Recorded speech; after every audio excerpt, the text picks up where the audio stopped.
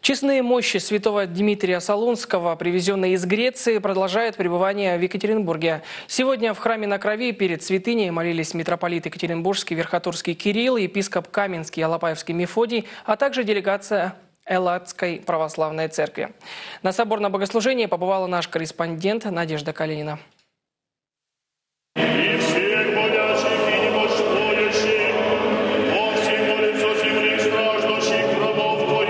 Особенное богослужение в особенный день. Предпразднество Рождества Пресвятой Богородицы совершается в храме на Крови, где сейчас пребывают частицы мощей великомученика Дмитрия Солунского. Особо почитаемый с самых первых времен христианства на Руси, он и сейчас глубоко любим жителями нашей страны. В эти дни у екатеринбуржцев и гостей города есть уникальная возможность прикоснуться к мощам, постоянно пребывающим на расстоянии трех тысяч километров от уральской столицы.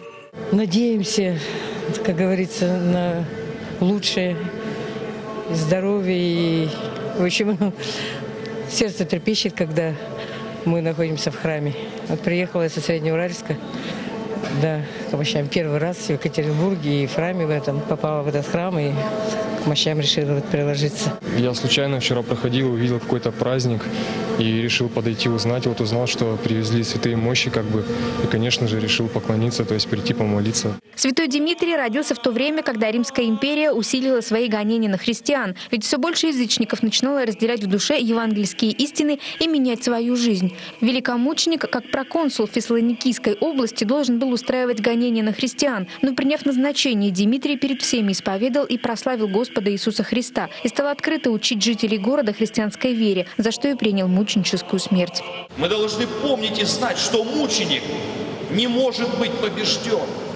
И сколько бы крови не было пролито, она произрастает еще с большей силой и дает тот свет веры Христовой, который мы видим с вами сегодня здесь. И в том числе в этом месте, которое должно было стать черной темной ямой, забытой, заросшей лопухами.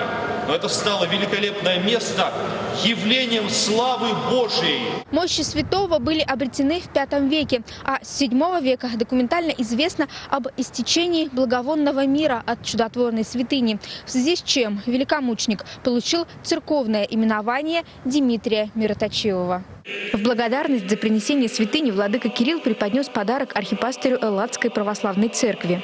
Я хотел бы, дорогой владыка, передать вам также образ святых царственных страстотерцев, который нап- будет напоминать вам об этом месте, также святом, и о тех людях, которые здесь живут, которые молятся здесь. Мы чувствуем в сердце великую благодать, находясь в этом месте, рядом с мощами святого великомученика Дмитрия Солунского и на месте мученической горчины царской семьи. Για μας είναι ιδιαίτερη ευλογία που μας δώσατε την ευκαιρία να προεξάρχουμε τις Θεία Λειτουργίες, να ευλογήσουμε τον λαό σας και να επικαλεστούμε τη χάρη του Αγίου Δημητρίου σε έναν έκαστο αλλά και σε όλους μαζί και ιδιαίτερο, ιδιαίτερο στη Μητρόπολη σας. Это для нас большое благословение, что вы дали нам возможность послужить сегодня здесь, благословить ваш народ и помолиться на этом святом месте.